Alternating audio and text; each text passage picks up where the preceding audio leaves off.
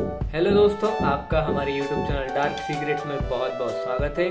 और आप, हमारे YouTube चैनल पर आपको हमेशा डेली एक ना एक आपको हेयर ग्रोथ के लिए वीडियोस आराम से मिल जाएँगी।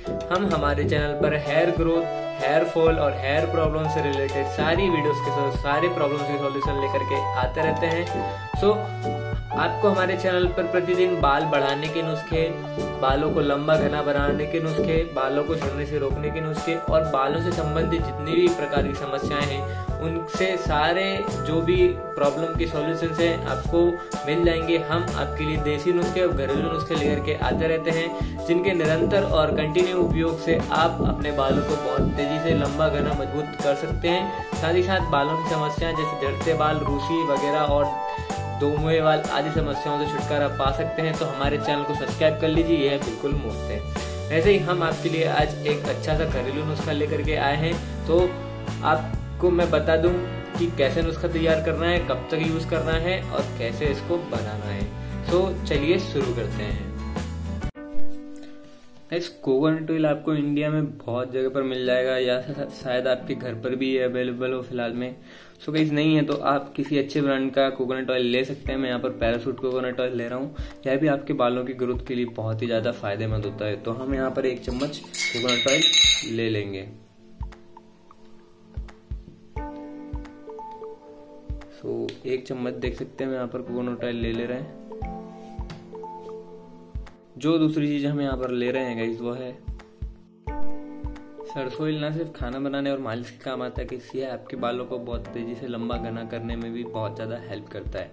सो so गाइज़ आप इसको कहीं से भी मंगवा सकते हैं, किराना शॉप से जनरल शॉप से या फिर ऑनलाइन भी ले सकते हैं। बसरते यह अच्छे ब्रांड का होना चाहिए। तो हम यहाँ पर इस नुस्खे में एक चम्मच जो है सरसों ऑयल ले लेंगे। सो हम यहाँ पर ले लेते हैं एक चम्मच सरसों ऑयल देख सकते हैं आप।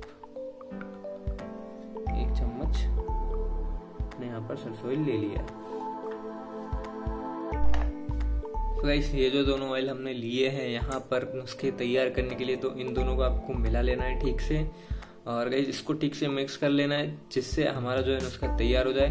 अब मैं आपको बता दूँ, यदि आप एक चम्मच दोनों ऑयल को आपको बराबर मात्रा में लेना है, इस बात का ध्यान रखें, चाहे एक एक चम्मच लें या दो दो चम्मच लें तीन तीन चम्मच लें या चार चार चम्मच लें, बस आपको दोनों को बराबर मात्रा में लेना है इसको तैयार करने के लिए। सो नुस्खा हमारा एकदम रेडी हो गया गाइस नुस्खा जो तैयार हुआ है इसको आपको अप्लाई कैसे करना है, इस बात पर ध्यान दीजिएगा। इसको गाइस आपको अपने हैश की जड़ों से लेकर सिरे तक गाइस 15 से 20 मिनट तक मसाज करनी है, हल्के हाथों से। ध्यान रखिएगा ज़्यादा जोरों से या ज़्यादा तेज से मसाज ना करें, हल्के हाथों से मसाज करें और देन जब मसाज कंप्लीट हो जाए 10 से 15 मिनट तक, उसके बाद अपने सारे बालों में हल्के हाथों से गाइस इसको अप्लाई करना है, हल्के हाथों से, बिल्कुल। सारे बालों में अप्लाई करके छोड़ दीजिए। दो घंटे तक दो घंटे बाद आप चाहें तो शैम्पू कंडीशनर कर सकते हैं या फिर नहीं भी करें तो बेहतर होगा। आप नेक्स्ट डे या फिर इसके यदि आप इसको सुबह यूज़ करें तो शाम को शैम्पू कंडीशनर कर सकते हैं या रात में यूज़ करें तो सुबह शैम्पू कंडीशनर यूज़ कर सकते हैं। सो so, यह बहुत ही अच्छी रेमेडी इसको कंटिन्यू यूज़ करेंगे आप हफ़्ते में ए, तीन से चार बार तो बहुत ही अच्छे रिज़ल्ट मिलने वाले हैं आपको। Hope you like the video तो लाइक करना सब्सक्राइब करना शेयर करना मत भूलिएगा।